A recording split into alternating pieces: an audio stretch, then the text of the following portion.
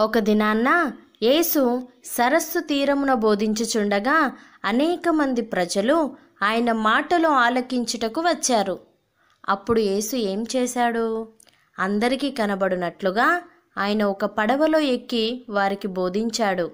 వారికి అర్థమగునట్లుగా యేసు ఉపమానములు మరియు కథల ద్వారా వారికి దేవుని విషయములను బోధించాడు.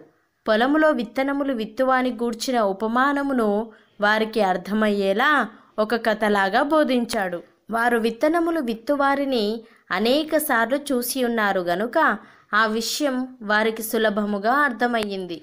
కొన్ని విత్తనములు త్రోవ పక్కన పడ్డాయి. పక్షులు వచ్చి వాటిని తినివేశాయి. కొన్ని విత్తనములు రాతి నేలను పడ్డాయి. అవి వెంటనే మొలిచాయి గాని సూర్యుడు ఉదయించినప్పుడు అవి మాడి వేరు లేనందున ఎండిపోయాయి.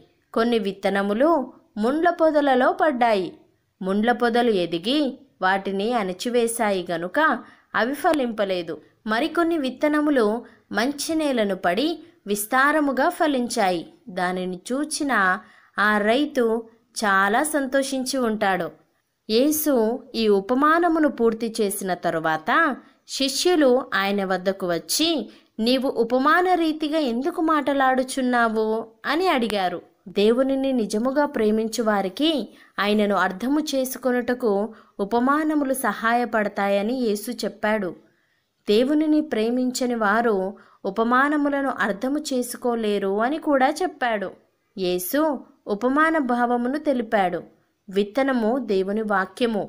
త్రోవ పక్కన పడ్డ విత్తనము లేవనగా వాక్యమును విని గ్రహించని వారు. సాతాను వారి హృదయములో నుండి వాక్యమును ఎత్తుకొని పోతాడు. రాతి నేలను పడ్డ విత్తనము లేవనగా దేవుని వాక్యమును విని వెంటనే దానిని అంగీకరించువారు. అయితే వేరు లేనందుచేత శ్రమలు కలుగునప్పుడు వారు అభ్యంతరపడతారు. సంతోషముతో యేసును అంగీకరించి ఆయనను వెంబడించిన వీరే దేవునికి దూరమై ఆయనకు విధేయత చూపరు. దేవుని వెంబడించుటలో వెల చెల్లించుటకు వారు ఇష్టపడరు. వారు దేవుని కంటే తమ స్నేహితులను సంతోషపరచుటకు ప్రయత్నిస్తారు. ఎంత విచారకరం! ముండ్ల పొదలలో పడ్డ విత్తనము లేవనగా వారు దేవుని వాక్యమును అంగీకరిస్తారు గాని ధన వ్యామోహము చేత వారు దేవునికి దూరమైపోతారు. వారి జీవితాలలో దేవునికి చోటు లేదు. మంచి నేలను పడిన విత్తనము లేవనగా మంచి మనస్సుతో వాక్యమును విని గ్రహించువారు. వారి జీవితములు మార్పు చెందుతాయి. వారు దేవునిని గనపరిచి ఆయనను మాత్రమే సేవిస్తారు. అనేక మంది ప్రజలు ఆయనను వెంబడించి దేవునిని సంతోషపరచుటకు సిద్ధపడ్డారు. దేవుణ్ణి అర్థము చేసుకొని ఆయనకు విధేయత చూపుటకు యేసు చెప్పిన ఉపమానములు సహాయపడ్డాయి.